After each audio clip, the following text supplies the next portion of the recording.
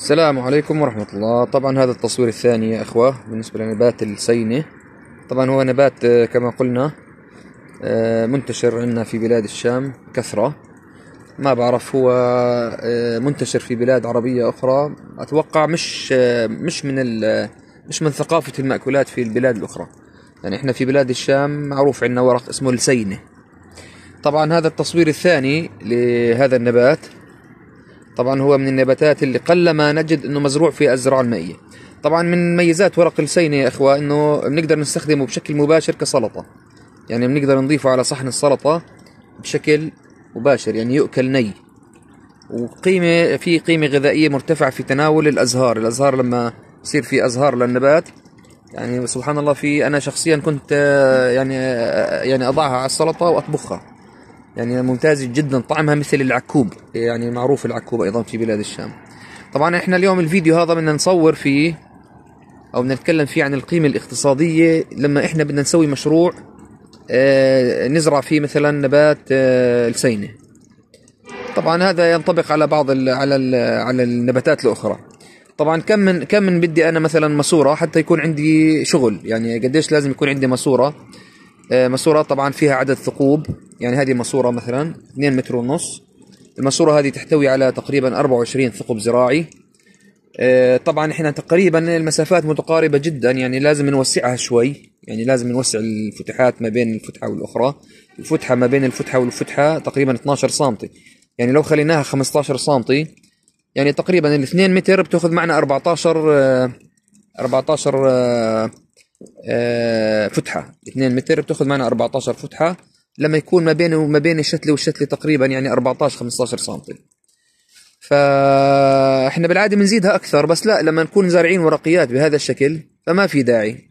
يعني الأمور الأمور سليمة. يعني إحنا بنطلع الورق مثلا التداخل الورقي بين الأوراق ممتاز جدا التباعد ممتاز جدا حتى على ال 12 سم ولكن لزياده التباعد بنعملها آه تقريبا آه 15 سم طبعا آه، تقريبا يعني كل 100 ورقة بتوزن آه، ما يقارب 750 غرام. يعني لما بدنا نتحصل الكيلو يعني بدنا تقريبا 100 آه، تقريبا 100 130 ورقة 140 ورقة زي هيك. طبعا هي بالعادة بتباع شكل ربطات. كل ربطة تحتوي كما قلنا على بحدود ال 100 ورقة أو ممكن تكون أقل. وتباع يعني بمقدار آه، دولار. يعني إحنا نقول دولار حتى يفهم إنه تقريبا يعني سعر عالمي. الدولار سعر عالمي يعني تقريبا 75 قرش بالأردني 5 ريال بالسعودي آه، يعني أغلب آه، يعني بهذا الشكل. طبعا لما إحنا بدنا نشتغل في هذا المشروع كم فتحة بلزمنا؟ بلزمنا تقريبا يا إخوة حتى تكون ذو قيمة اقتصادية بلزمنا تقريبا 10000 فتحة. 10000 فتحة يعني بحدود بدنا 700 ماسورة. أنا ارقامي تقريبية يعني. يعني مش دقيقة 100% بدنا 700 ماسورة مترين فيها كل ماسورة آه، تقريبا 15 آه، فتحة 14 فتحة بهذا الشكل. 700 ماسورة آه، يعني بدنا نقول إنه سعر الماسورة نقول خمس دنانير بتجهيز ذاتي. يعني مش أنا أنا بدي أجهزها بدي أقوم بتثقيبها وبدي أقوم ب يعني بتهيئتها للزرع وبدي اعمل لها وصلات كذا. يعني هذا شغلي كامل. يعني الماسورة بدها تكلفني بحدود الخمس دنانير أطوال مترين بسدادات تقريبا. الماسورة بتكلف ما يقارب سبع دنانير. الكاسات طبعا ممكن نستخدم كاسات بلاستيكية عادية وممكن نستخدم كاسات زراعية بهذا الشكل. طبعا الكاسات الزراعية هذه تقريبا سعر الكوب بالجملة بحدود العشر قروش. يعني تقريبا 15 سنت زي ما إحنا شايفين. فبكون إحنا عندنا لقطة آه، عفوا بكون عندنا تقريبا تقريبا ثلاث لقطات أسبوعية. ثلاث لقطات أسبوعية. يعني كل لقطة بنحسبها إحنا مثلا على 100 ورقة 100 ورقة تقريبا أربع مواسير آه، عندنا 750 ماسورة. بنحسبها بتطلع معنا آه، قديش تقريبا الأرباح. أنا بعطيكم معلومات تقريبية. يعني أنتم بالآلة الحاسبة امسك واحسب. فهذا ينطبق أيضا على الخس ينطبق أيضا على نقول الثمريات الورقيات الأخرى. البصل له حساب ثاني تقريبا يعني مش زي الورقيات ولا آه، الثمريات.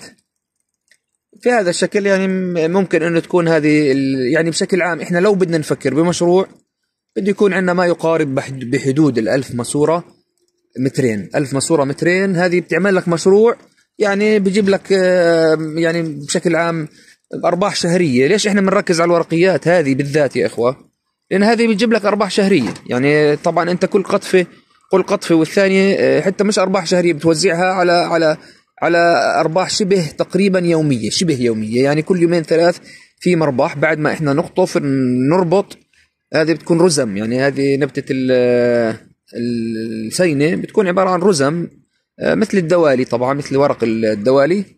وبعدين إحنا نربط طبعا شوف الأرباح هذه فيها أرباح مستعجلة. يعني إذا أنا بدي أسوي مشروع فيه أرباح فيها يعني مباشرة فيها ربح مباشر فيها ربح مباشر فمعناته بزرع زي هيك نباتات إني أنا أستفيد من ورق لحاله. طبعا مين الأشياء اللي كمان بنستفيد من ورقها بشكل مباشر؟ ورق الشمندر. ورق الشمندر أيضا يستفاد منه بشكل مباشر.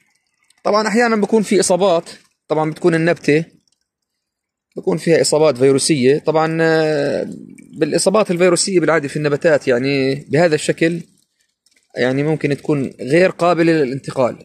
تكون النبتة طبعا زي هيك شايفين إحنا فيها اصفرار. بكون نفس النبتة هذه فيها مرض يعني.